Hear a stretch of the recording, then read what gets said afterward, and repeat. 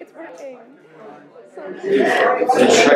Could you explain what Ally Week is? Yeah, so um, Ally Week is a week to educate folks about LGBTQ issues, uh, specifically folks who don't identify as LGBTQ, um, so whether straight or cisgender, and it's an opportunity for folks to get educated about ways to best support LGBTQ folks um, through whatever they're going through. Um, so one of the things that we do is provide opportunities for education, try and figure out what term means what, because that's often the biggest challenge for a lot of folks, um, and just try and help everybody support everybody else as best they can. Um, when does the club meet? Um, we meet every other Wednesday. Thank you so much. Thank you. Hey, what's going on? I'm the hall monitor, and I'm here with two faces from the robotics club here at BMHS, coming to tell you why you should join, what it's all about, and basically what's going on. So I'll start with this gentleman right here, Mr. Matthew Sweeney, and this is uh, Jeff Davis, in case none of you knew. Uh, what what is robotics in as a whole? How, do, how does your season work? Uh, what do you guys do? Do you guys build like uh, robots that go into the kitchen and get you like a uh, like granola bar or something? What, what do you guys? What- Run me down with what's going on here. Well, I mean, simply enough, we're pretty much we're, we're building robots to go compete in a competition called uh, First Robotics, and uh, the uh, the robots uh, have to complete certain tasks that we get at the start of our build season, which starts in January, and uh, we get six weeks to build that robot, and uh, after those six weeks, we compete.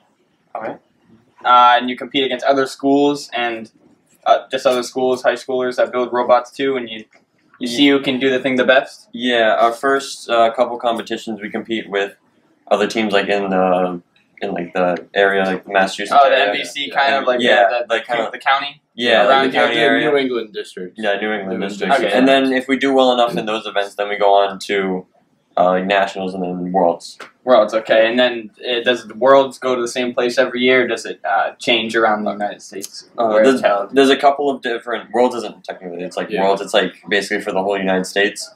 But there's a couple of them. There's the one we go to is in Detroit. Yeah. There's one in Austin, and there's It's it's been in different places before too. Um, last year's was Detroit and uh, Austin, uh, Texas. Uh, we went to the Detroit one because like half the country goes to Detroit, our half goes to Oh, okay, Texas. Did you, do you get assigned one? Do you pick? Uh, it's generally just yeah, which- whichever it's- one's it's- closer. Yeah, it's Oh, yeah, whichever yeah, yeah. one's your region. Okay. Yeah. And um, how do you join robotics? Who's the who's the guy who runs it? Basically, the teacher. Uh, so it, yeah, if you want to join robotics, you could uh, email Mr. Flood or email either me or uh, Jeff, uh, Jeff, Matthew Jeff. Sweeney and Jeff Davis. Matthew Sweeney at Gmail. Yeah. K12.com. Jeff Davis at K12.com. M M Matt, uh, Matt, Uh, Matt M, Flood. I M think. flood. M Flood Oh, at it's M Flood. K12.com. And uh, anything else you guys want to say? Oh, that's it. I grew a beard. He grew a beard, everybody. I'm the hall monitor. Have a nice one. Good morning. I'm the hall monitor. I'm here with Mr. Shrunk because we're talking about Dungeons and Dragons Club. And some of you may not know what Dungeons and Dragons is. I feel bad for you because it's pretty radical, bro. It is. You want to explain it, Mr. Shrunk? Sure. Uh, so Dungeons and Dragons is a tabletop game, and I'm sure at least a good amount of students in school have seen Stranger Things, where they play that game. But it's based on dice rolls. You play as a character, you develop that character, you work with a group of people, try and solve whatever the story may lie from a dungeon master or a game master. I am one of them. We have three others right now. Presently, we have uh, 27 people signed up for club. How may end up staying, I don't know. But it's really a great game for problem solving, teamwork, camaraderie, creativity, especially, and helping people get out of their shell. I've had interest from people all walks of life in the school, whether they've been football players, people in DECA, people who might identify from the LGBTQIA community, and just everybody else. Um, the primary thing that people end up saying why they can't play is either schedule or they worry about the stigma of, oh, I won't be known as a geek or a nerd in D and D. and so rad, though.